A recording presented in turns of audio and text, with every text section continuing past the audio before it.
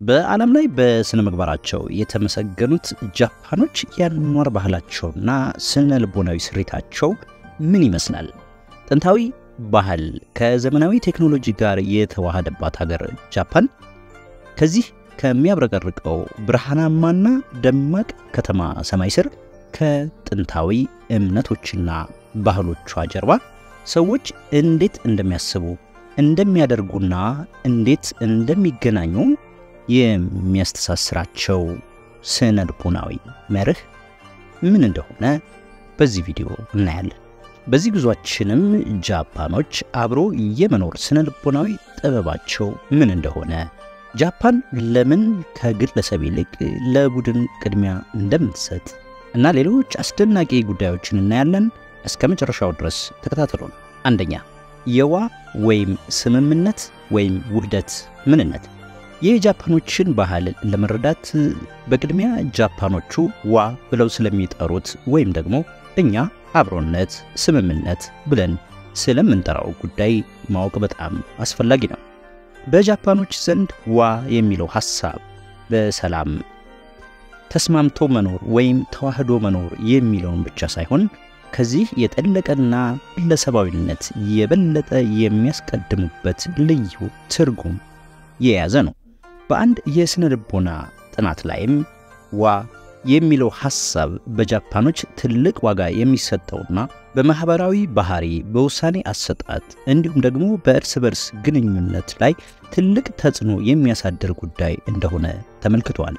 ይህ ታላቁ ፈላስፋ የኮንፊሽየስ አስተምሮ እንደሆነ የሚነገርለትና ለጃፓኖች በአሱካ ዘመን ማለትም ከ538 እስከ 710 ባለው ጊዜ እንደተዋወቀ የሚነገርለት ዋ የጃፓናውያን ሕይወት በመምራትና ቅርጽ በማስያዝ ከፍተኛ አስተዋጽኦ እንዳደረገ ይነገርለታል። ሐሳቡም በቡድን ውስጥ የሚኖር አብሮነት ወይም ስምምነት ወደ መረጋጋት፣ ትብብርና ስኬት ይመራል የሚል ነው።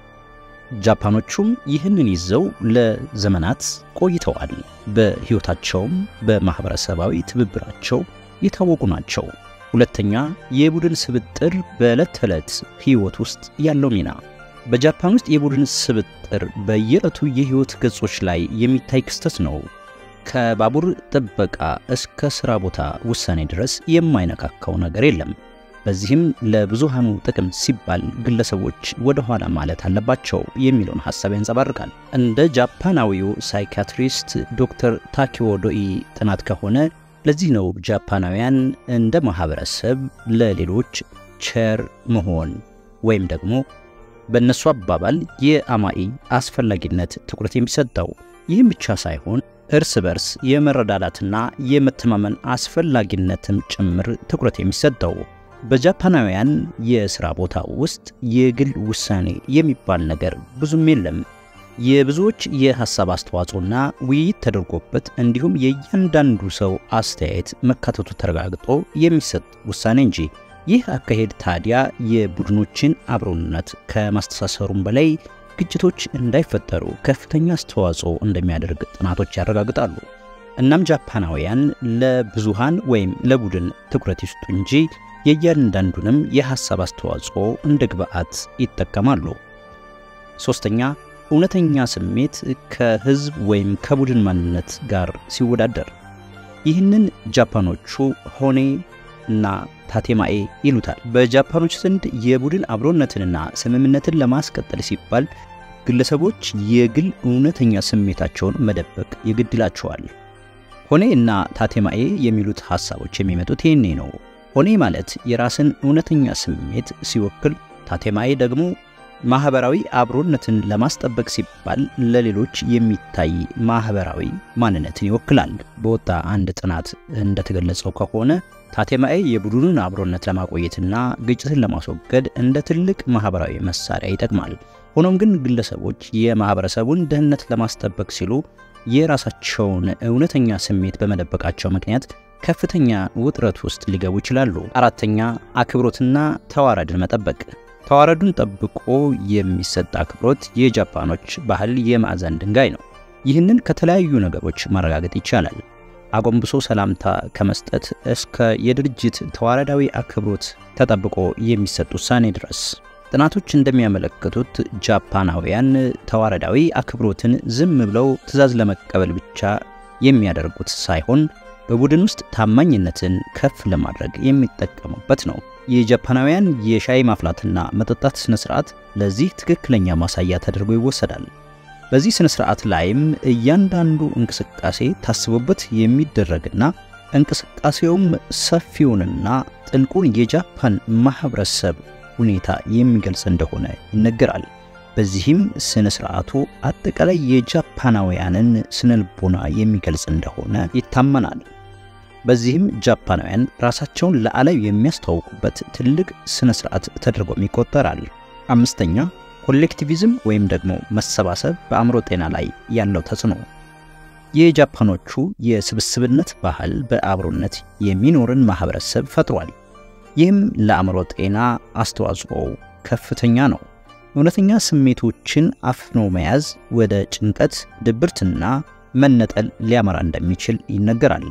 በአንድ ጥናት ላይ እንደተመለከተውም ታቴማኤን ለማስጠበቅ ይህም ሲባል የራስን እውነተኛ ስሜት አለመግለጽ ለአእምሮ ጤና ከፍተኛ አስተዋጽኦ ያደርጋል። አሁን አሁን ላይ ግን ጃፓናውያን ይህንን እያወቁ የመምጣታቸው ነገር እየተነገረ ይገኛል።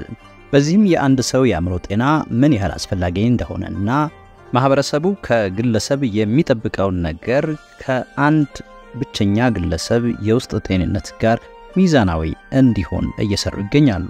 ይህንንም በግልጽ ውይይት እያደረጉበትና የግለሰብ ስሜቶች መስተናገዳቸው ወሳኝ እንደሆነ እየተገነዘቡ እየመጡ ይመስላሉ። የጃፓናውያን በየጊዜው መዘመን በቡድንና በግለሰብ ላይ የሚደረጉ ስነልቦናዊም ሆነ ሌሎች ለውጦች በብዛት እንዲታዩ አድርጓል። በተለይም ደግሞ ወጣቱ ትውልድ የጥንቱን ቡድን ተኮር ወይም ደግሞ ኮሌክቲቪዝም የሆነውን ሀሳብ ወደ ግለሰብ ተኮር ወደ ሆነው የምዕራባውያን አኗኗር ዘይቤ እየለወጠው ይገኛል። ይህ የባህል ለውጥ በተለያዩ የማህበረሰብ ጥናቶች ላይ እንደተመለከተው ጃፓን የባህል ወረራና አዲስ ሚዛናዊ የሆነ የባህል ቅየራ እንደገጠማት ያመላክታል። የጃፓናውያን ልዩ የሆነው ስነልቦናዊ እይታ በአብሮነት በአክብሮትና በቡድን ውህደት ለተለያዩ የዓለም ሀገራት እንደ ምሳሌ ሊጠቀስ የሚችል ነው። የህብረተሰብ ጥንካሬ፣ ባህልና አጠቃላይ ደህንነት የዚች ሀገር ልዩ መገለጫዋ ተደርጎ ይወሰዳል። ጃፓናውያን በሌሎች አስደናቂና አስገራሚ ስነልቦናዊና ፍልስፍናዊ የአኗኗር ዘይቤዎች የታወቁ ናቸው።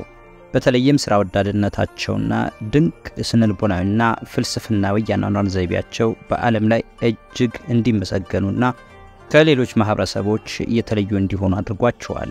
በሚቀጥሉት ቪዲዮዎቻችን እነዚህን ድንቅ የሆኑ የጃፓናውያንን የአኗኗር ዘይቤዎች እንመለከታለን። ቪዲዮ ጠቃሚ ሆኖ ካገኛችሁት ለሌሎችም share አድርጉላቸው። በሚቀጥለው ቪዲዮ እስከምንገናኝ ድረስ ሰላም።